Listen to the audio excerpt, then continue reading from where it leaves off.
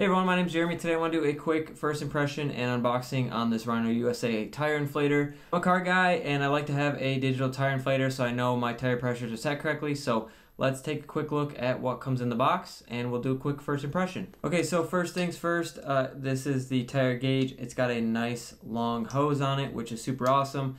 Uh, nice little handle right here. I'm going to get to this in a second. It was wrapped in bubble wrap and it does have some foam on the end but I'll go over what else is in the box. So first you have a small baggie with some Teflon tape and your fittings. I do like that it includes Teflon tape. That is a very nice little touch for the company to do.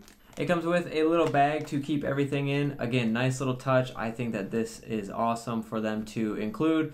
Keep it nice and handy, uh, keep it nice and secure. You'll always know where it is.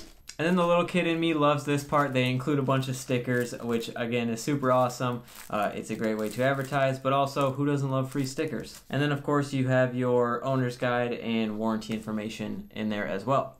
So as far as the gauge itself, on the back here there is a little battery door. It does use two AAA batteries and they are included. It has this little pull tab here so you can pull it when you're ready to use it and actually make the battery connection.